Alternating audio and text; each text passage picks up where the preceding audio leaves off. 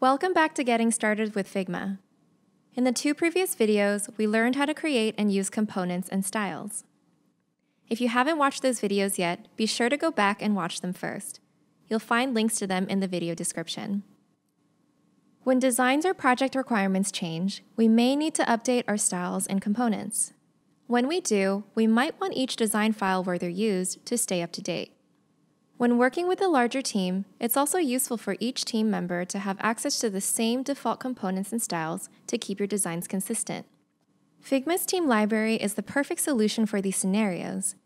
Styles and components live in the files in which they're originally created. To reuse them across your files and projects, you can publish them to your team library. Publishing styles is available if you have a free starter team. To publish your components, the file will need to belong to a project within a professional team or organization plan. We've already upgraded this team to a professional plan, so we'll be able to publish components alongside our styles in this video. Now let's see how it works. In the Components video, we showed how to find your components from the Assets tab above the Layers panel. Within the Assets tab, we see a book icon. Clicking on this opens the Team Library window. At the top of the window is a button to publish this file, along with its components and styles, to a new team library. After clicking the button to publish, a new window appears. Whenever we publish an update to a team library, Figma will save a version of our file. If we enter a description here, it will be displayed in the file's version history.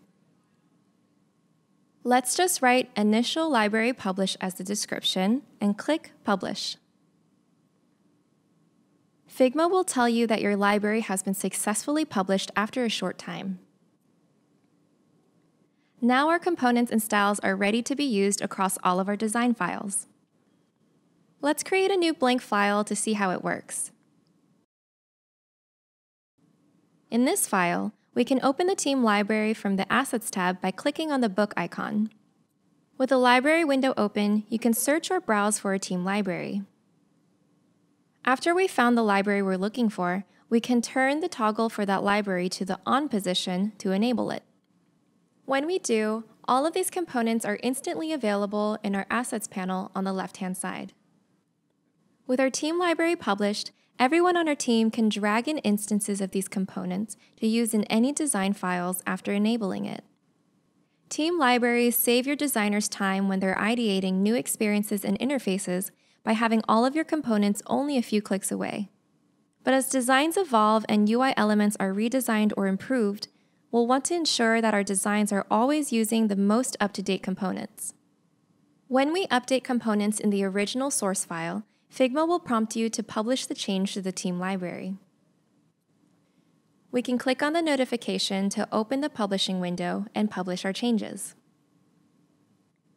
In our other design file, we'll see a notification that updates are available. Clicking Review allows us to see what changes were made to the components currently in use. We can update individual components or click on Update All to accept all changes. Now, all of our components that are being used in this design file have been updated to the most recent versions.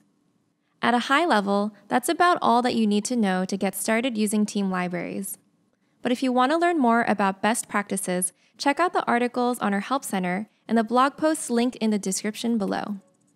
In the next video, we'll demonstrate how to use Figma's live multiplayer editing to collaborate and design in real time.